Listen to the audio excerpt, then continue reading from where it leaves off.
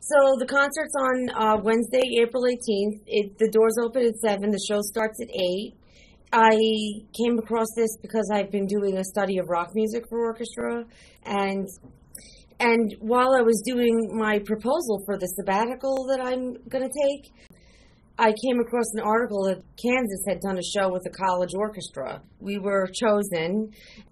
Basically, we're playing Kansas's songs they have a they have an arranger who's also going to conduct the show. He does all their shows, and so we're doing his arrangements of the songs.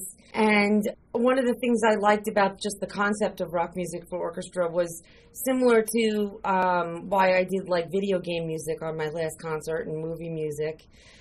It's really to attract a modern day audience and show them that we're cool too.